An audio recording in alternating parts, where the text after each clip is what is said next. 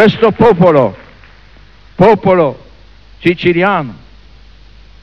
talmente attaccato alla vita, popolo che ama la vita, che dà la vita, non può vivere sempre sotto la pressione di una civiltà contraria, civiltà della morte. Lo dico ai responsabili,